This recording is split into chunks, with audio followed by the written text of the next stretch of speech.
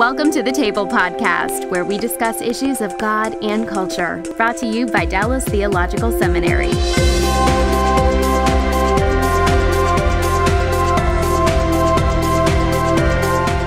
Welcome to the table. We discuss issues of God and culture. I'm Darrell Bock, Executive Director for Cultural Engagement at the Hendricks Center at Dallas Theological Seminary. And my guest today is David Ridley, founder of Invesco Real Estate and uh, Transitioning, which is a euphemism, I guess, for for uh, what we sometimes call retirement. But he's busy, so he he just want he wants you to know he's not kicking back on a couch somewhere, not doing much of anything. Uh, and we're here to discuss faith and work, and particularly um, looking at it from the standpoint of a business person who hoped for help from the church at one time uh, didn't receive it, but now is seeing a transition in the way the church walks into the faith and workspace and is encouraging that. And it's also engaged himself in trying to communicate with corporations about the nature of, of, of corporate culture in ways that uh, reflect both um, what's healthy for the company, but also has a good element of uh, Christian values attached to it. How's that for a summary of? Oh man, that's it, good. I could have done that good, good myself. Uh, so, or you know, we're we're learning as we go here. Mm. Um, so let's talk a little bit about about your experience. The first question I ask almost every guest on the on the podcast is, so how did you get into this gig? I mean, what what what? Um, how did, how did you get to where you are now? Tell us a little bit of the story of, of your interest in the area of faith and work. Well, it's interesting. It was for sure a God deal. Mm-hmm. And I know that sounds cliche ish, but in my case, it was a God deal. And uh, it was because, uh, as founder of this other company in 1983, Invesco Real Estate, we, we were blessed and did extremely well. And so when retirement came, they'd asked me not to leave, but to hang around for a couple years and do some coaching around what made us successful in our group, which was a, a smaller part of the larger Invesco organization. And so it forced me to uh, write a curriculum. So I tried to write this curriculum, and about a month into it, I threw it all in the trash. And God had said to me, "You just write what we did." Mm-hmm. So that's what came out, mm. and it became a program at Invesco called Dice. They still use it heavily. And uh, so as I pulled away from the business altogether, it dawned on me all these college talks I'd been asked to make around this topic could they, it just addressed this faith and work topic so perfectly. Hmm. The problem was I'd never heard of the faith and work movement topic yeah. or movement, and so you're teaching me about that now, and it's just been such a rich experience to see where some of this is applicable to. So you're a Christian who's really rolled the dice at one time in your life, huh? Oh yeah, I was a bit of an entrepreneur, and, and uh, that's why I look like this today. you know, you never had a job past you know your your last day, and mm-hmm. it came to succeeding or failing, and I always thought, well, if I fail, I'll fall forward. I'm young enough. I'll go get a bank teller job and start over. You know. And, and, you, and um, talk about the early days of of what what kind of created the transition from you know just trying to get something off the ground and get it launched to to really um, launching you in this kind of a direction. Because you really as we talked about we've met with the students earlier um, if, as you've talked about um, you you initially looked for help from the church and there wasn't anything you were on your own so um, so talk about talk about how you kind of stepped into this area more formally and and what you did with your company that changed its direction what happened was I, would mentioned in um, today earlier uh, in chapel that I had uh, asked a, uh, an older gentleman in our church, and I obviously won't name churches, mm-hmm. but I'd asked him if he'd consider mentoring me. That was way before mentoring was in style. And he looked at me and he just laughed. He says, Why in the world would I do that? Mm-hmm. And I, I, was humiliated. Mm-hmm. And I walked away. And truthfully, I never thought too much about asking the church for any further help in mm-hmm. my career because I didn't know that was possible. Mm-hmm. In fact, I saw this divide and and almost felt was made to feel a little bit guilty if I spent too much time at work. So mm-hmm. I didn't know you were supposed to maybe get help from work and, and thinking about your career and those things. So. Hmm. And then uh, uh, talk about the time when you changed when when the your approach to actually handling your company changed direction as well. Well, I was uh, a, um, it's funny. God has such an amazing way as you look back on it. But I I had a vision around. Uh, I heard a man talk about the future of our business, which is basically funds management. Okay, so we manage money for large pension funds, endowments, foundations, et cetera, sovereign wealth funds around the world. And I heard this gentleman talk about that vision, and God kind of gave that vision to me to do it. And as He would only do, I, next thing you know, I was um, I met a gentleman, and I went to work doing just that from from nothing. And so that that took off, and and uh, I was learning along the way, and really had no idea what I was doing. Uh, if I had been smarter, I would have never tried it. But I launched. That was 1983 and by 1985, uh, we had one client, which, by the way, we had for 10 years, just one client. That's a learning experience in a book in its own right. Mm-hmm. But, but so I'm, uh, I'm in Houston, and I asked this gentleman, he was a major real estate broker in Houston that we look to to supply our uh, investors with product. And, and he looked at me at a table that night uh, with his staff around him, and he says, Dave, do you have any idea that you're not going to make it in this business. You're two years in, you're not going to make it. Who are you going to? Who are you to compete with? J.P. Morgan or Goldman Sachs. Mm-hmm. And, and the bad news was I realized he was right, and who was I? Uh, it was a ridiculous thought. So I walked back to my hotel room that night, and I remember sitting at this little desk, this little hotel room in the Galleria, and taking a sheet of paper and writing all the way down to the bottom – my fears and trepidations and weaknesses, why I couldn't do this with the intent of just giving that to Jesus. I just gave it to God and basically asked him to take me out of this, lead me somewhere else, or if he would just become chairman. And that's what I said. And got on my knees in that hotel room, and he became chairman, and I was willing to not work there or go somewhere else, whatever. And what I distinctly remember was walking through the halls the next day in Dallas, Bryan Tower, and thinking, wow, I feel great. Uh, the pressure was gone, hmm. the heartburn was gone. I had a very powerful boss. I wasn't worrying about disappointing him anymore. That's how I knew it was gone. He was mm-hmm. a very, very powerful man in, in Dallas and politics in general. And so re- creativity returned. And I, I became creative again and happy and actually, the way he started demonstrating in a positive way, in a, in a more um, material way, was he started bringing me my partners that I retired from my business here two years ago. They're still there. Hmm. I couldn't affect great hires, but he did. And I never lost one of those partners or a client during that period of time. That's a that's a miracle. So this is 25 to 30 years that you worked together side by yeah, side? Oh, absolutely. Yeah. yeah. yeah you know, they're still there. In fact, I just spoke at one of the other guys' retirement the other day hmm. back, back at the office. His transition? His transition, yes. sorry, sorry, Dave. well, maybe he did retire. I'm not sure. Uh, yeah. yeah. So, so um, and, and, what you really have come to major in is what we want to spend our time talking about is the development of a kind of corporate culture and the way in which the formation of the workplace really um, can model and reflect values that we also see in the church and and and the kind of the cross learning that's taken place. But with one other awareness before we go there and that is that now you're sensing that there is more help available in the church for, for business people and the possibilities of how business people and and pastoral staffs can connect is is growing in what you're seeing, and in fact, you're experiencing that yourself.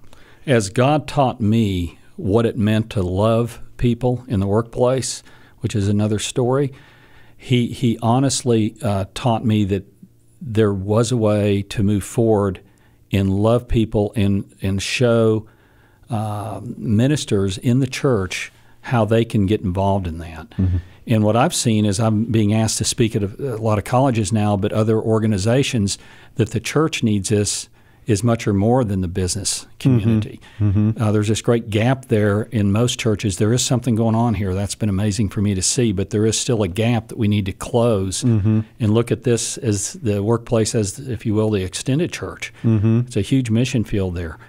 So there are things that I didn't realize at the time I was learning, but I was learning how to really love people, which is obviously what the church is about. Mm-hmm. But in the marketplace. So, so in, when when we talk about kind of what made your company work, and and just to complete the loop on the story, Um, this guy told you that you'd never be a success in doing what you were doing, but um, you did manage to stay there for a long time Mm-hmm. uh, and s- over several years and with many partners. So it's clear that this change that you brought to the company with this handing it over to God um, actually did bring change to your company as well. Talk about that. Absolutely. Uh, I would not have made it if that night had not happened in that Houston hotel room. There's no way. Um, that changed everything. That was a game changer. So what that what happened there was it gave me the confidence to realize that I was competing against forces outside. That's called capitalism, mm-hmm. not inside. And I had to start creating a very healthy environment within my firm to compete with that if I hope to succeed. So the first hire I made after that was a, a great gentleman. I won't use his name, but I paid him literally exactly to the penny, twice as much as I was making. Hmm. This other guy just spoke at his retirement. He came in making twenty thousand more than me, and my boss thought I was crazy. But I knew the competition was there, and I also knew that Jesus was CEO, and so I felt zero threat by that. Hmm. My goal then became to surround myself with the most talented, good-hearted people that I could, so we could compete, and so that So we're so when you talk about healthy environment, you're talking about a relationally healthy environment that people work in. Yeah, uh, it's relationally healthy, but but corporate health is something that's starting to get a lot of attention. When mm-hmm. we were doing it, I had no idea what it was called. I didn't mm-hmm. learn this till later, but it was around very uh, uh a healthy platform that made people want to be a part of it. It's mm-hmm. like that family feel. My first stab at it was studying Southwest Airlines. What was it that made those guys different that people wanted to be there?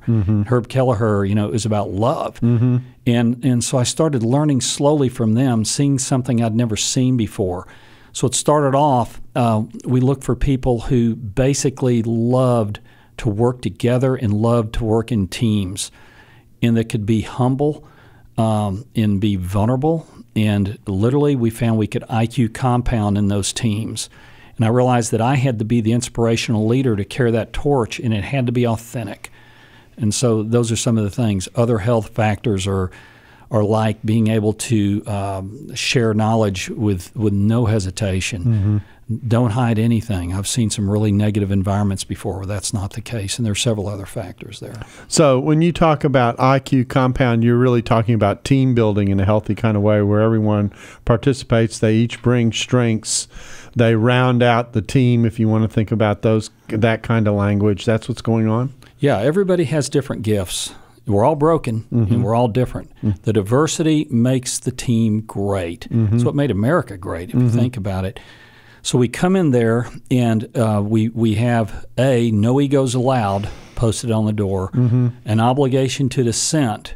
The only bad meeting is a quiet meeting where one person's doing all the talking. And it's always up to the leader to be vulnerable and to be open and not worry about looking being uh, looking stupid and to get it all out there. And that sets the rules for the room and for the entire organization. Then we get smart. That's IQ compounding. That's how you compete with major stalwarts in the in the industry.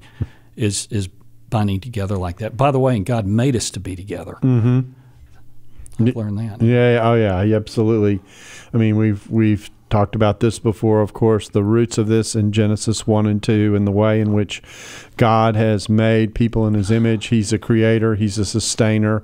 So there's creativity. There's sustaining ability. There's management ability. The importance of stewardship is a theological concept coming out of the early chapters of Genesis. We've been called to steward the world and to steward it well you look around and you go, well, maybe we're not doing always all that Yeah. great sometimes, but but that that's the calling of what people are. When people steward well, when they reflect the way God has made them, there's satisfaction in that. There's flourishing in that. There, it it produces a good product. And I take it that part of what you're talking about is the ability to take that into the workplace and make that the environment in which people work. Yes, it is. And the way you can do that is by being real and, as I said, authentic. We're all broken. Uh, during staff meetings, I'd always have folks raise their hands and say, "Who's who's broken?" You know, I'd be the first guy with my hand up. We need each other to win this. We need to love each other, and I'd say we need to forgive each other because we're all broken. And And I'll tell you one thing: I'm I'm one of the guys that needed the most forgiving Mm-hmm. because you got you've got to have a fire in your stomach. Uh, this is the most com- a competitive world that's ever existed, with the information flow, and talent, and the educations that are out there. Lots of smart people. You have to stick together to make this happen. So, so what are you doing now? I mean, we've talked kind of about where, where you, what you came out of. What, what do people, what do you, you, we said you've transitioned. You've transitioned into what?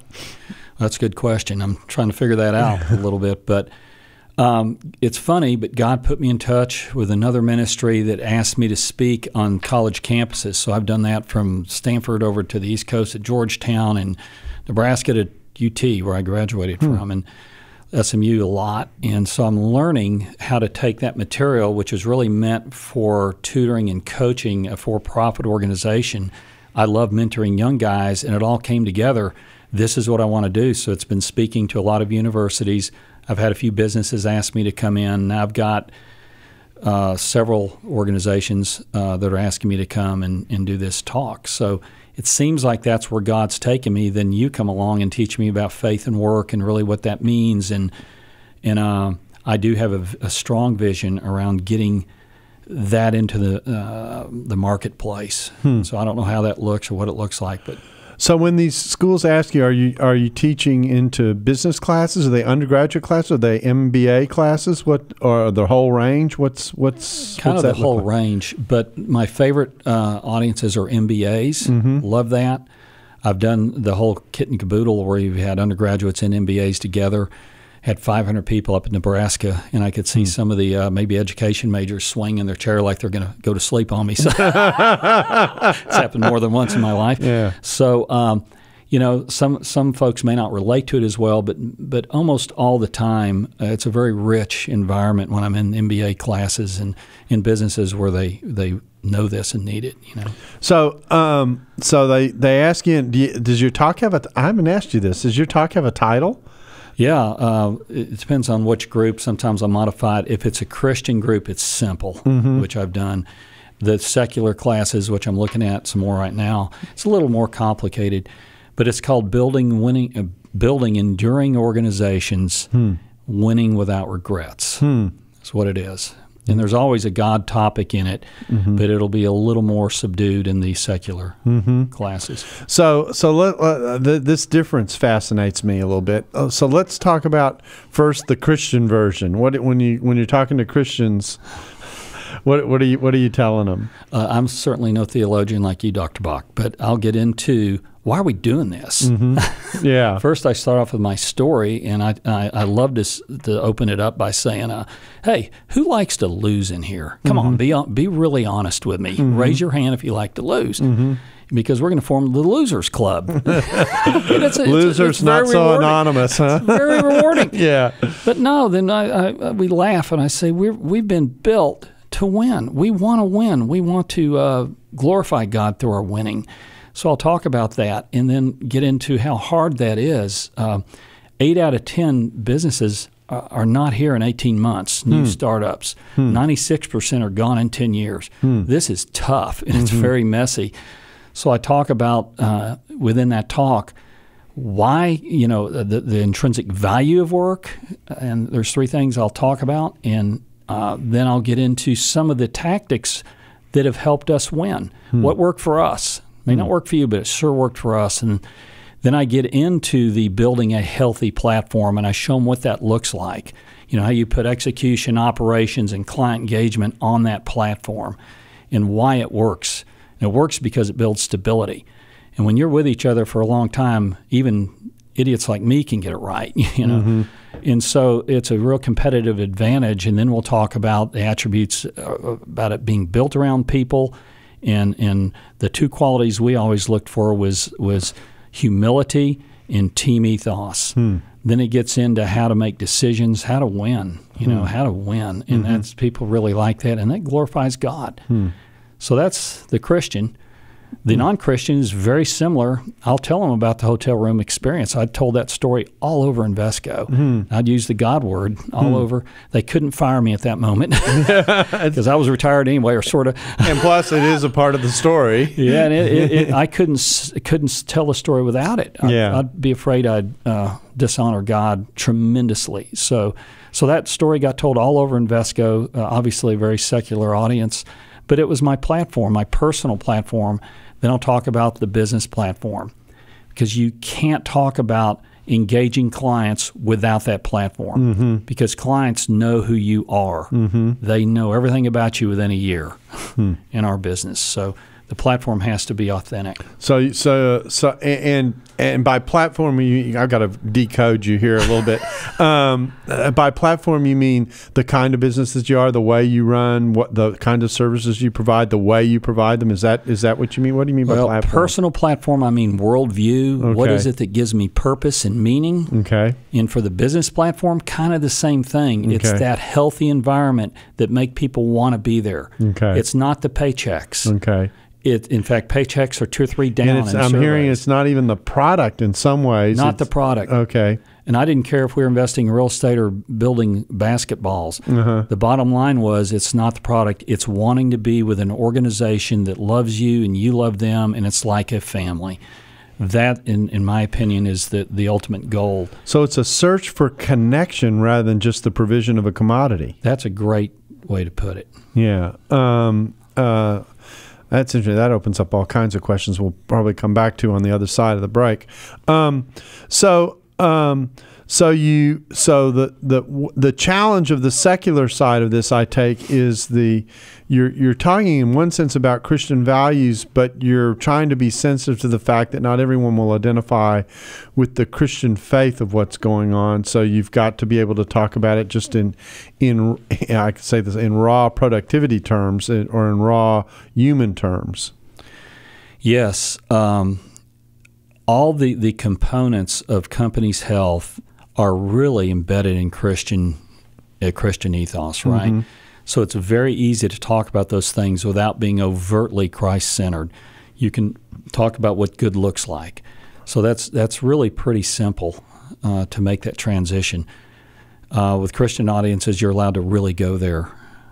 Okay, so it's it's it's an there's a line that I use a lot when I speak in public about cultural engagement. It goes something like this: you know, Christians are used to being able to say it's true because it's in the Bible, but we have to learn how to tell people that it's in the Bible because it's true.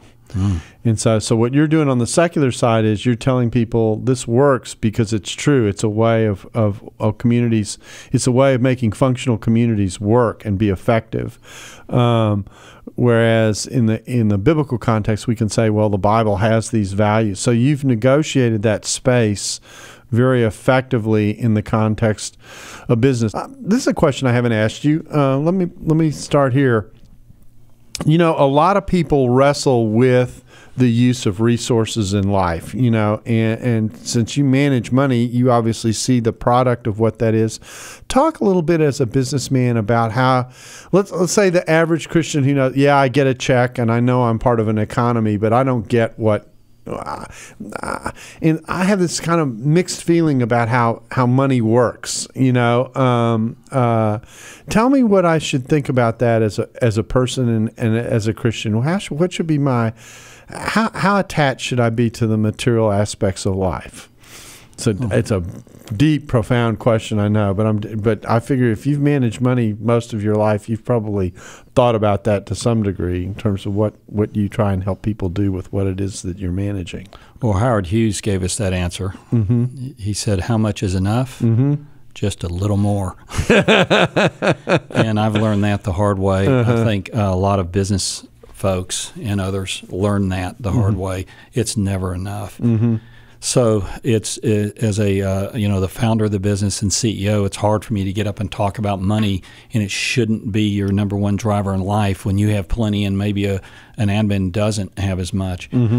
so it is a very um, uh, tricky topic sometimes. Absolutely. But basically, we talk so much about uh, the values in what it's our value proposition, really, what our purpose is, why we're there, the meaning that gives us, and that God has us in a, in our path where we should be running. Mm-hmm. And I don't care if it's uh, you know being a mechanic or if it's doing something in finance. That's the lane He has us on, and so to just be very happy about that and feel your worth in that area. In uh, the money situation, of course, we don't get into many topics on money, but we Right. de-emphasize it's not about the money here. It's about winning and being together as a family, mm-hmm. and that's how we we would approach it. And I, and I take it that winning is being defined in a in a particular way. Uh, it it isn't a crushing of the competition or something like that, but it it's it's being useful and and serving well with the resources that God has given you, so that you don't hold them kind of like this and this is mine, but you think about what can I do creatively with the with the resources that God has given me that that that at least when we're thinking about this in most Christian terms, that allows me to to impact um, people in a in a positive way. Is would that be what you're talking about, or is winning more complex than that? Well, in again in the business world, it is about winning. Um, in our field, and I'm sure it's this way in most, there may be a hundred firms vying for the state of California's pension fund. It'll get down to twenty. And then it'll get down to the finals presentation, which is four of us. Mm-hmm. That's very difficult not to get focused because if you don't win at all, you're out looking for another job. So a lot of it truly is about winning. So that's the pressure. That's the pressure of the job. very, very pressured. Uh, we didn't land a new client for over 10 years. We had one. Mm-hmm. Yeah. So, what God, I think God uses your job as a chisel mm-hmm. to form us into who we are. Mm-hmm. He created money, He created work, He values that. So, the best way I know is you said don't hold on too tight. Mm-hmm. If your self worth is driven by the money you make and the successes you have, you can really get smashed. You can get crazy Because it's up and down. it's up and down. Um, you you know we won more than our share, and we were so blessed, but we lost a lot. And most of us in business, you can survey this. Most executives will tell you that I learned far more from the defeats and losses than I ever did the wins. In my case, that was absolutely true. We did a post mortem after every loss we had, and uh, never forgot the losses. So basically, we try to steer people towards loving the pursuit of it and, and loving the fellowship and the healthy environment we're building as sort of the family like environment, and the wins will come. So uh, the pursuit of a common goal that's worth achieving is part of what we're talking about. Creating a vision for folks and repeating it over and over. It's about robust communication in the mm-hmm. workplace. Mm-hmm. A, it's got to be authentic, mm-hmm. and then it's got to be communicated a lot. Then that gives people ownership in it. And those are health factors. Now, robust communication, this is a phrase that I love because I think it's really, really important.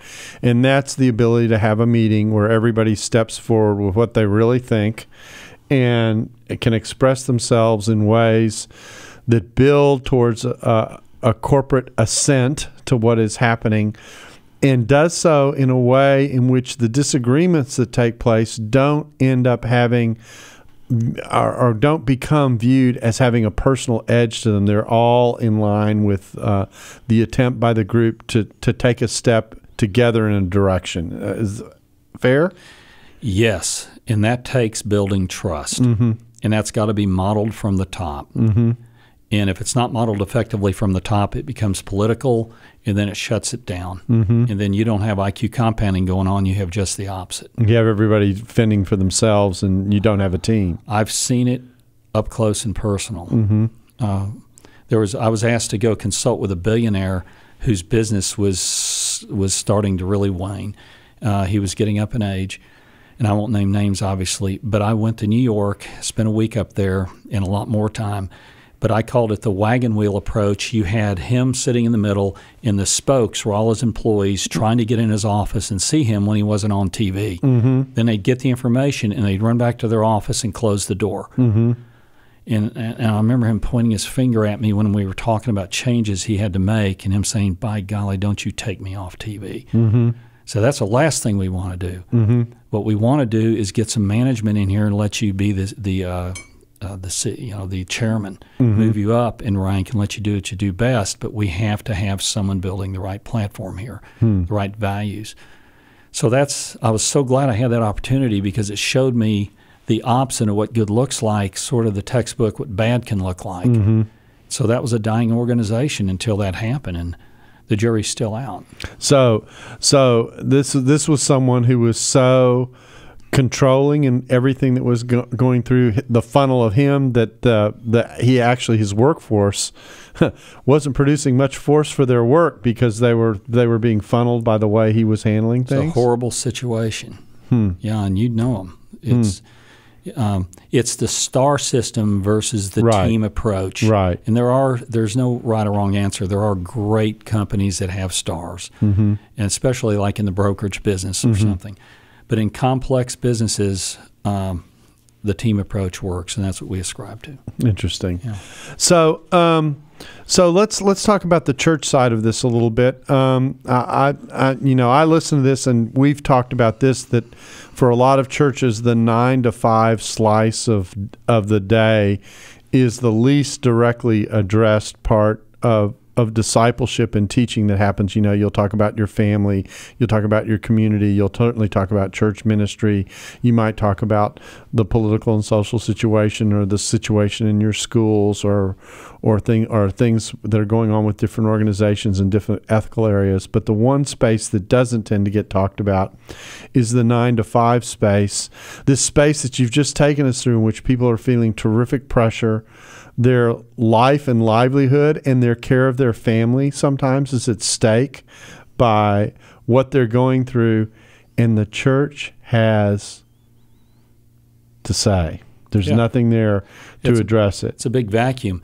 I wasn't really looking for it too much, other than trying to find my mentor, mm-hmm. because it, did, it didn't even strike me as a possibility. Mm-hmm. That's how far away it is. I'm seeing it change now, mm-hmm. and you all have really opened my eyes to mm-hmm. what's happening. And I pray that God is making a difference and that this is starting to happen because it's the biggest mission field there is. It's it's a mission field where literally everybody involves mm-hmm. is involved in it. So so the the push is to begin to to help people see that I mean, the irony of this is, is that is that the very healthy environment that you're talking about, corporations need to function, particularly relationally within their teams and between groups that work within organizations to connect and understand how they function vis-a-vis one another, is not very different than the demands a church has to create the community that it functions with and in. Yes, and in fact, um, not to be negative, but I have seen uh, many churches that need this more than a lot of businesses. Hmm. And I've seen the star system in churches. I've seen poor, uh, some really disastrous situations I've been exposed to, and even to the point where there's workaholics and, and really hurting themselves and their family. Mm-hmm. So You're talking about in the church. Within the church. Yeah. Now, the other model, of course, the one that we're trying to talk about and get people to kind of uh, grasp, both uh, really on the both on the business side and the pastoral side, it is a community where pastors become sensitive to the business person in the life that they lead, mm. and business people engage with pastors to help them understand the life that they lead as well, yes. so that there can be some some spiritual and uh, and uh, formative input into into the into how the person goes into the workplace, and uh, didn't mean to make this long, but there's no way to go do this but go there, and recognize, have the church side recognize this is actually the front lines of of mission for the church. That the church doesn't need to create its own evangelistic organization and, and program. That God's already put that program in place by where He has people scattered in and throughout the marketplace in the business world. Absolutely my pastor uh, has approached me about doing just this, uh, very open minded. I think uh, it, it starts with leadership like everything else, and that's the pastor realizing this is needed. Uh, he's not touching the very nerves that are out there and on people's minds and where they're hurt as they sit in that pew on Sunday. Just exhausted people, and they're going back Monday to do it again. And you made me think of something. Uh, when I was a younger man, I literally had my life figured out this way. I had my church silo or, or circle. Mm-hmm. I had my family next, mm-hmm. and then I had my business next, and then I had my physical fitness circle, mm-hmm. which, by the way, I didn't go in much. and, and God told me one time, I'll never forget it, the most amazing thing there's only one circle, Dave. Only one circle. And this was like 10 years ago or more. And I realized it's all the same. Mm-hmm. It's all the same. I saw my Jewish brethren having one circle, mm-hmm. yet I had 4 mm-hmm. And so I learned not to uh, silo those, but to segregate. I mean, to, to bring all those together. And it, it made a big difference in how I looked at the church as well as my business. But there's very few in, in the in the church today that see it that way. I don't think. And of course, the effect of that is that when we when we talk about God stuff when we're in church and talk about God stuff when we're with our family and we talk about uh, maybe um, thinking about spiritually how we take care of our body, um, you know, because it is, you know, the temple of the Holy Spirit, we need to care for it, those kinds of things. But then we don't say anything in the workplace that's like a black hole that exists in life. And you, obviously you don't have any and you actually affirm something the church tries to deny which is that there isn't a secular sacred divide that god belongs in every space and in every activity and yet we somehow manage to to create this this silo that actually also at the same time um, how can I say this? Almost siphons off the spiritual energy that happens in the other places because I'm spending so much time and energy in this one one space. Yeah. Yeah, totally agree.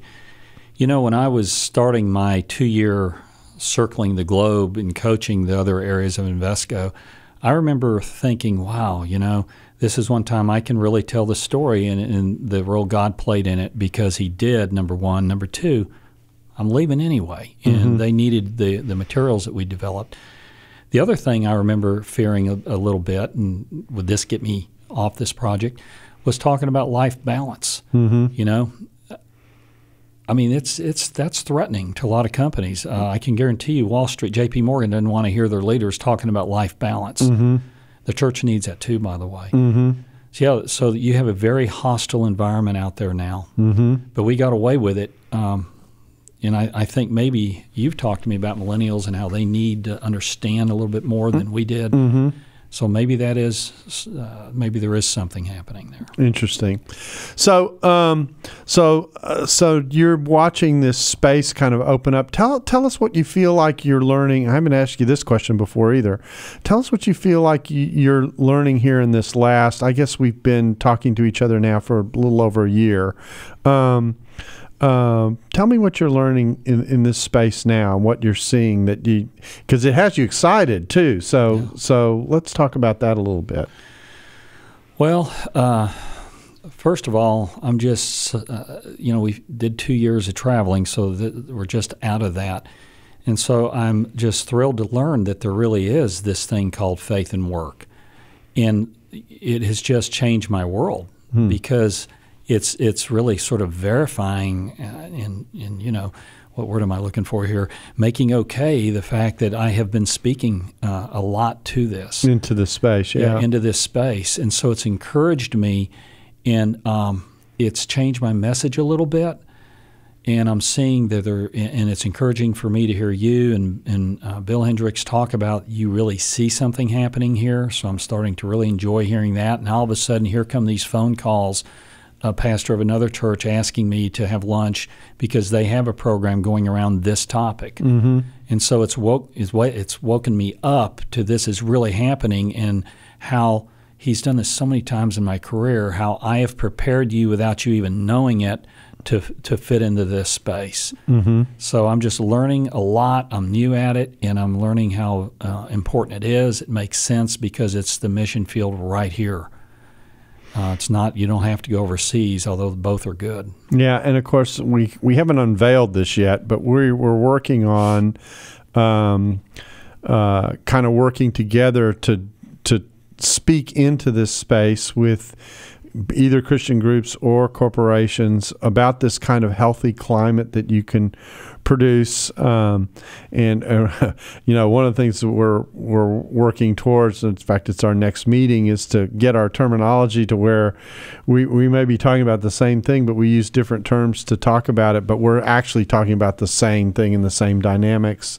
Um, so there's a lot of there's a lot of translation work that has to go on uh, yes, be, be yes. from the, you know, because I talk I talk theology speak and you speak business speak, and so yeah. you know that we need a UN translator in there somewhere to help us help us work Yeah, it out. yeah. But it it it's been interesting to to sense in these conversations as we talk about these values that we're talking about how uh, we really are saying the same fundamental things to people about how teams work. How do you build a sense of family in your organizations? How do you how do you get your ministry teams and the church working one way? How do you get your your corporate groups uh, who are tasked with certain responsibilities to work? In the in the amount of similarity that that involves is almost almost stunning. I agree with you. There is a lot of just translation because when I listen to you all talk, I don't understand some of the words. It's kind of, but then when I ask questions, I realize, wow, yeah, that's what I'm saying too. It is very similar. People are people, Mm-hmm. and we're all sinners. And the folks in the church are no different than the folks in the business place. We're all sinners, and we all need to um, look to God to to give us the rules to play by, the most effective rules. Talk talk a little bit about um, about the challenge that a corporation has, particularly in holding on to young people. This is something that uh, you and I and Steve Ramseur and Bill have been talking about a lot. Talk about that dimension of why this is important. To why why would a corporation care about these these kinds of questions? Well, um, basically, the baby boomers, as you know, are finishing their careers, and the millennials are coming up, and uh, they are driven by different factors. And it really is more around. I mean, they're just so different, and I'm just loving watching it. But they're so much more technical, and they're onto all the uh, the the iPhones and all the things they use their technology, and they want purpose and meaning in what they're doing. They don't want to just join the org chart, as I heard somebody say here, and follow our path. They want they want to know why, and so we have to be different. Uh, I'm seeing Steve's company really address that. Some others aren't. And so I think it's brilliant that they are because they're going to be the meat and potatoes of the next generation of business people, you know, here in the U.S. So we have to pay attention to who our new uh, most valuable asset is. By far, it's our folks, it's our people, and um, how to relate to them. And part of what you've been were able to, to generate at Invesco was this ability to keep people around and uh, and buy into what was going on there. And one of the challenges that corporations are finding with millennials is they come, but if you don't give them something more than a slot to fit into, they go. Forget it; it won't work. And it, it's hard to hold on to young folks anyway in the in the middle to bottom ranks of your firm mm-hmm. because they need room to move, and mm. sometimes our stability fought against that. There was nowhere to go, mm-hmm. so we knew we were going to lose some people. But the way we held on to people was never the money. Every now and then that became a factor, and we had circles where we said we're just not losing that person. You know, mm-hmm. we we would take care of that. But for the most part, it was the culture, and culture is too easy a, a, a term. Culture is formed by great by a great platform, which is the health, which are the health issues, and that's what make people want to be with you. They feel, they feel loved, and they feel like they can really um, work in teams and, and have that kind of fellowship because we are meant for the, for togetherness. Mm-hmm. Period. Paragraph. We are. There's very few people that aren't. So when you get, uh, it's a very powerful and affirming thing when you get people working in the same direction for the same goals, sharing a care for one another, not just about performing a task, but having a sense of, in the midst of it all, I'm getting to know you better. I'm getting to appreciate who you are as a person, and and and bringing those values into the workplace become a way of really it's it's odd in some ways. You, you're cementing both the tasks that you are trying to perform, but you're also cementing um, cementing people at a personal level that that that is satisfying to them as people. That's exactly right. Um, to oversimplify a business, you, you've got great execution capabilities or you don't get a ticket to the dance. You have mm-hmm. great operational capabilities or you don't get a ticket. And neither of those matter if you don't have great uh, prospect engagement, client engagement techniques, okay, both mm-hmm. prospects and existing clients. All that, a lot of folks get right. Not as much in the in mm-hmm. the engagement piece, but they get it right. What they don't have, what makes them enduring, that's why I talk about building enduring businesses, mm-hmm. is they don't have that solid foundation, which is the people side of the equation that you just referenced. Mm-hmm. They miss that. And the reason big companies miss it all the time is because they're run by ex CFOs that are now CEOs. And really, if, it, if they can't measure it, it doesn't matter. And that's the way that business has been run for years and years. And this is a hard thing to measure. In, in another thing, it's just too simple. Mm-hmm. And so they ignore it. Southwest Airlines didn't ignore it, okay? But they have great accountants too. So that makes the big difference, in my opinion. And it's probably the single biggest factor today that most big companies could grasp onto to improve themselves. Interesting. So we're, we're running out of time here, so, and I really appreciate you uh, taking the time with us to kind of walk us through what this is like, and for those who are in ministry to kind of get a glimpse of the issues and the in the tensions of what it is to work in the workplace. But then on the other hand, to have us see and appreciate the similarities of what it means to build community, to think about how community does get shaped and formed, and in the midst of doing that, to think about the way in which we relationally engage with people that give them value and affirmation so that they're willing to hang in there with us. So, David, I really do appreciate you taking the time to come by and talk Thank with you. us about this. Very flattered to be here. Thank you so much. And we uh, hope you've enjoyed your time with us here on the table, and we hope to see you again soon. And our hope is, is that this has been a, a, a beneficial conversation for you to reflect on. Thanks for listening to the Table Podcast. For more podcasts like this one, visit dts.edu slash the table.